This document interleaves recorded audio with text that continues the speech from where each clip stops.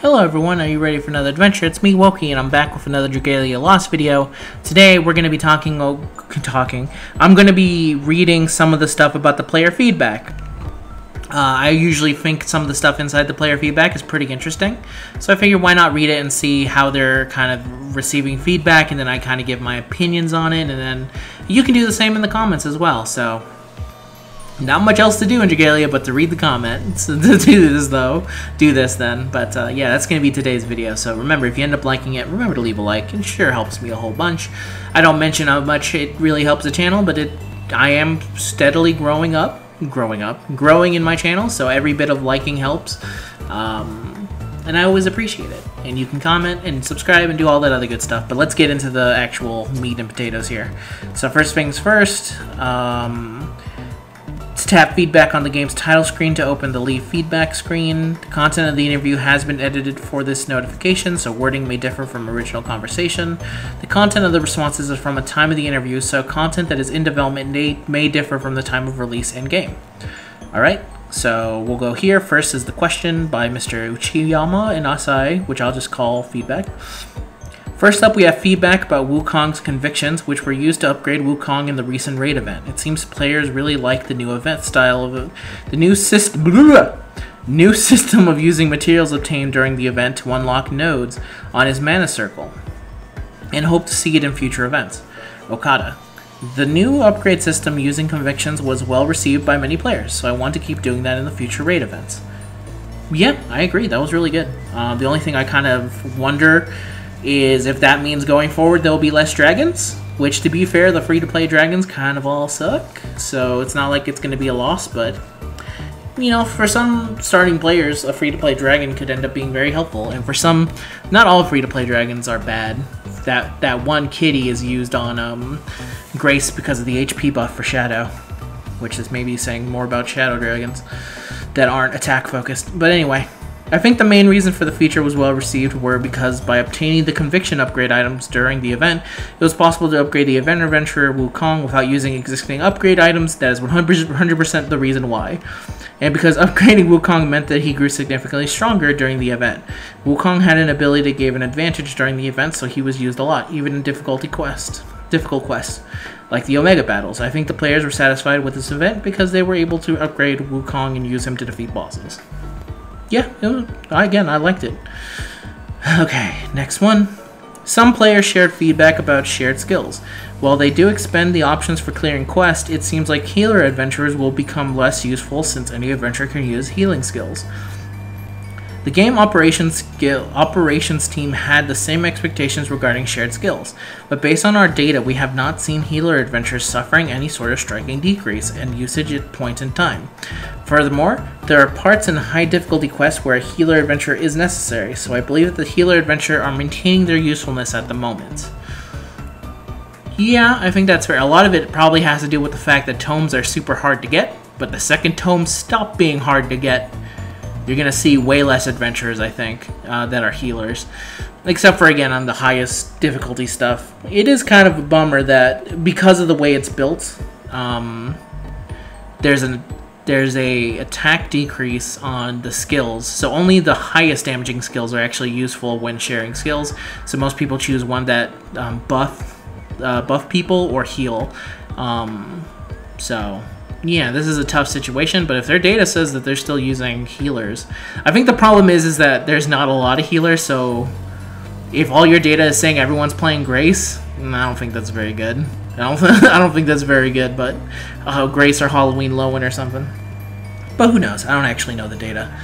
Uh, we've received feedback that players would like it if it were not possible to use a dodge action. Okay, we've received feedback that players would like it if it were not possible to use dodge actions repeatedly, because while the addition of invulnerability time to the dodge action was a good thing, players have become per perpetually invulnerable to flicking repeatedly.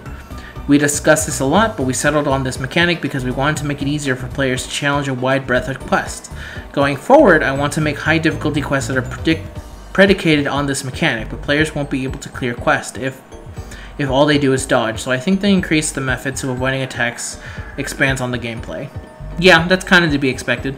The reason why it felt so crazy overpowered is the fact that the game was never designed to do that. And now, if you look at even the most recent Agito bosses, there's entire points where you have to take damage unless you're doing crazy cheese strats anyway. Um, they kind of built it in mind of like, no, you can't dodge everything, or maybe we're gonna make it extremely hard if you miss time a dodge or something, or make it borderline impossible to actually do anything if you try and dodge all the way. I don't think it's got is as much of a problem, um, but it definitely does make a lot of uh, previous stuff way easier when you can just dodge it all. Um, oh, and he has more to say.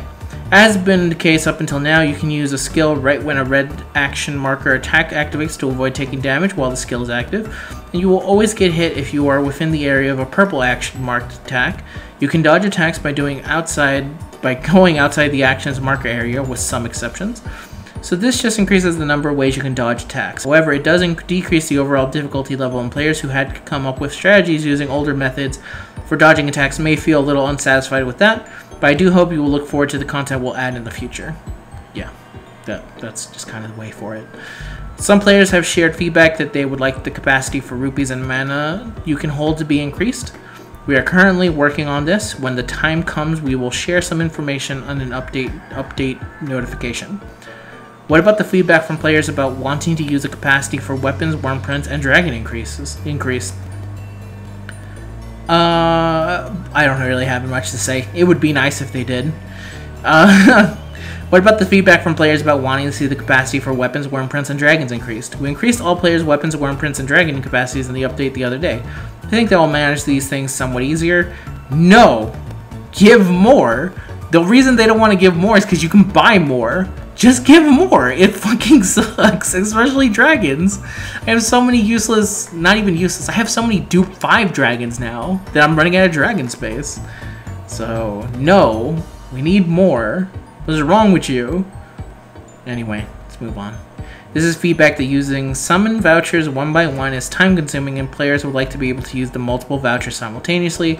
This is currently in development as well, so please wait a little longer. I don't know how I feel about this. Because I feel at that point, isn't that just multi? And the whole point of the, the tickets was to do, never mind. Hmm. I mean, at that point, just give me a bunch of multi-tickets, right? I don't know. We'll see how that's implemented. I kind of would like to just make it, you know, so my summon videos are maybe not as long. We have another request uh, from us this time too. The castle grounds are always bright and sunny, but if it would be nice if there was a feature where the castle grounds changed to nighttime after 6 p.m. or something like that. If the facilities glowed or if there was a decorative lightning display when it turned to nighttime. Might even increase the number of logins at night. I'll keep that in mind, laugh. Thank you for the feedback. I think that would actually be a really cool addition, to be honest. Um, especially if you log in at the right time, because login for Dragalia is way late at night for a lot of people, at least for me it is. It's 11 p.m. in California. Uh, we'd also like to share one request from our listeners. They say that they love how cute and energetic Cerise is, and sad that she doesn't get to play a part in the main campaign. Plus, since she is a gala adventurer, unfortunately many people have not been able to get her and play as her in Dragalia Lost. To help even more people realize how great Cerise is, they hope they will give her more chances to shine in main campaign and consider giving her out as a story adventurer. While Cerise is an important adventurer, I'll keep that feedback in mind as well. They 100% need to give some form of adventurer to Cerise.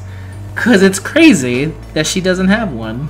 And that the only way to get her is one through Galabanner, which is borderline impossible now, and two, the Monster Hunter collab, which is gone, which is super limited.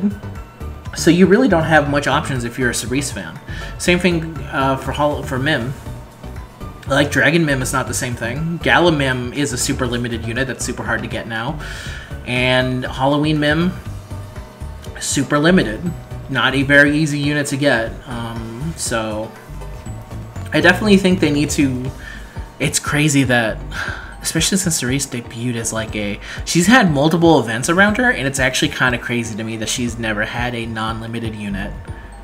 It's even more crazy than Mym, because at least Mym you could look at and say, well, she's Brunhilde, so of course, like, she's still there. But it's actually kind of crazy that even up to the most recent story, that person got an adventurer that was free before Cerise did, which is just insane to me. That's I don't know how that works out, but yeah, that's all the feedback we got today. As always, um, leave feedback to them in the leave feedback section, and thank you for playing Dragalia Lost. Yeah, not a bunch of things, not a bunch of things in there that are like eye-opening. Some cool stuff going up. Yeah, I kind of like the fact.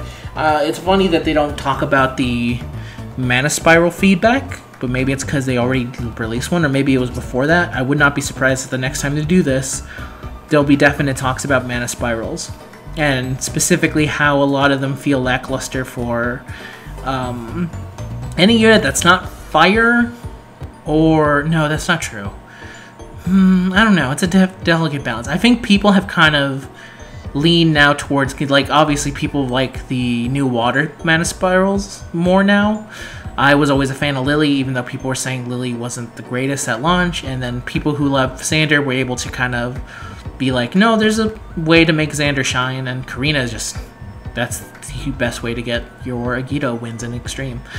So I do think those ended up being good, but they weren't on the same level as the previous spirals in terms of the ooh factor, basically. I think that was kind of the problem for me with them, is that they didn't really have panache. They didn't have like Lin You where she shoots tornadoes out her four strikes. They were kind of like practical. But I don't know. But yeah, that's it. Hope you liked the video, everyone, and I'll see you guys in the next video. Peace out.